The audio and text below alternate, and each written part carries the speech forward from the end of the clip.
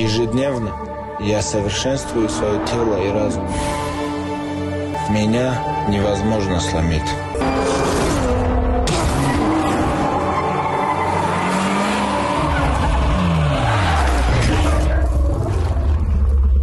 Պաշտոնական ներկայացուցիչը Հայաստանում Ավտոսան ընկերություն